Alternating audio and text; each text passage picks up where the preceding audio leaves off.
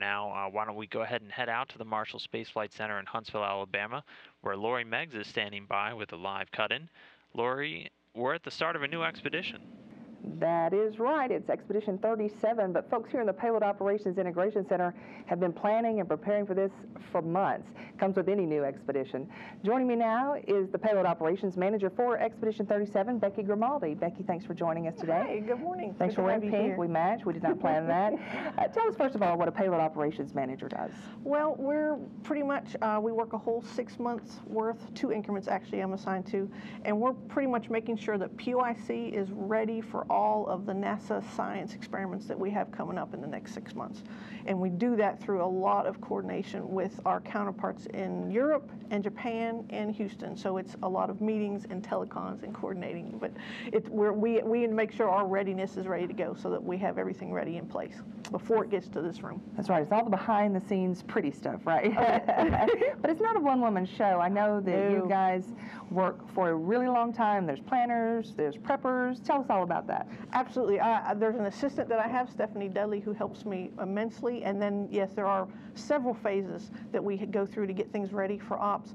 Pretty much the last phase before we're in this room executing is um, the people that are behind this room. There's about four or five rooms back there filled by about 20 different personnel that usually rotate in on a six-month basis. They work um, Monday through Friday, eight by five, and they are back there getting things ready for this room to execute. Um, the first one of those teams is the planning team. They start building all the plans that the crew and the ground team need to execute, and they start building those about three weeks out from when we're getting ready to execute. Uh, they're, they're filling in all the information that the crew needs to do their job and command windows that we need. If a PD is at a remote site and they need to command, they're putting all that on the plan so we have it all ready to go. So it's kind of all on their shoulders of, of what happens, what the crew does. I- Absolutely, and it's a lot of coordination. They work with the international partners three times a week to make sure that everything is coordinated and that the resources that we need, do we have enough video lines, all that kind of stuff is coordinated so everything fits. So they work on a timeline. Yes, All right. absolutely. And then after that, uh, there's a team we call the prep team, and they're getting all of the products ready to make sure that everything is on board and ready to go for the ops. They start reviewing the timeline about a week out. They're also processing all of our change traffic if we need to update a crew procedure or uh, any other products that need to be uplinked to support the ops. There, sometimes PDs have files, data files that need to go up to support a run, scripts, that kind of thing. They're processing the paperwork, making sure those products are on board in time, and reviewing the timeline, making sure everything's complete, so that they can hand over a complete product to this room and it's ready to execute. But they really have to be on their toes, right? Oh, absolutely. The, the, the prep team is staffed by all the increment leads of the same positions that you see in the room here. And they have been working the increment at least six months beforehand, before they get here, doing reviews and making sure they understand, especially for new things that we haven't done before, making sure we understand everything about it, any constraints, things that, that can't operate together. We need to know all that so that we can lay everything out and have everything good to go. So this room cannot operate without those two rooms back there. There's also folks that are uplinking our crew procedures for us, PODF support. We have a payload systems engineer that is reviewing anomalies to make sure that we can get things back up and running when we need to. So there's a lot, a lot of work that goes on behind the scenes before this room is ready to go. And here I thought it was all just you. I wish. Let's talk about some of the exciting new research that's coming up. You've got a SpaceX launch, an orbital launch. Tell us uh, what we're going to see in this expedition. Absolutely. We, the, the orbital launches will be the first increment that has an orbital launch, a new vehicle that can take science to the space station. That's very exciting. We're going to have two launches in increment 37 and increment 38 to, to watch out for. Uh, a couple of the new payloads, um, we have some satellite operations, and on the the second orbital launch, there's going to be a payload called SLOSH go up that is going to use the Spheres satellites that we've used before, and it's going to study fluid sloshing in like engines, engine tanks.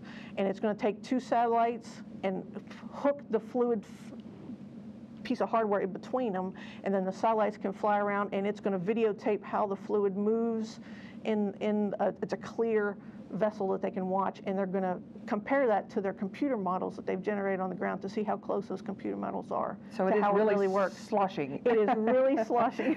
that won't be fun for the crew at all. Oh, of course. it will That'll be. be a fun one. And then, speaking of satellites, we're also going to do some satellites outside.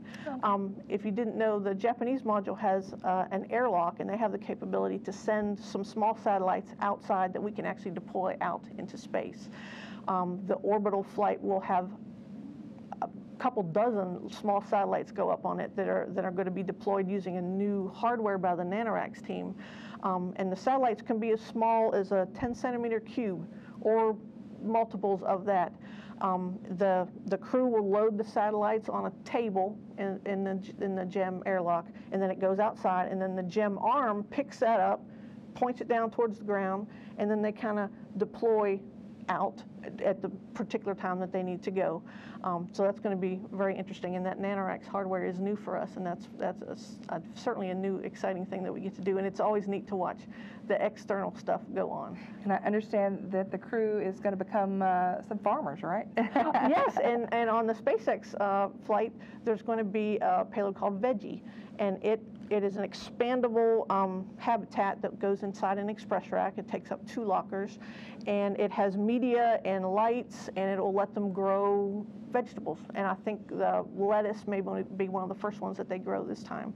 Now, will Um, they eat that, or is it just they grow it, they bring it back and have I to study think that's the end result is for them to eat it. Okay. Um, they'll, they'll, the seeds go up, they actually will, will plant and water them up there, and then the, the veggie hardware is kind of expandable, so it has a bellows, and they can make it bigger as the plants grow. It'll give them light and circulate air, and then the crew will have to water them periodically. So that's certainly something for the future. We need to have vegetables for the crew to eat, so it's something interesting to do. Uh, much much different than growing them down here on Earth, Oh, I'm yes. sure. But- Absolutely. But maybe they'll be good gardeners by then. um, also, let's lastly talk about you're also on Expedition 38. So, Mm-hmm. as you just talked about, all that planning is going on right now. Oh, yes, and, and we're- looking for things, uh, all the, the launch manifests and changes for what's going to fly to get ready. We have to do reviews months in advance for products and things. So, yeah, we're, we're already preparing for that orbital flight and the SpaceX flight that's in January. We're, we're already preparing for those now. So, day one of Expedition 37, you guys are really busy back here. Cliff Cliff Jones back there Yes. at the helm today as the payload operations director. Thank you so much, Becky, for filling us in. Absolutely. Thank you for coming. We look forward to it.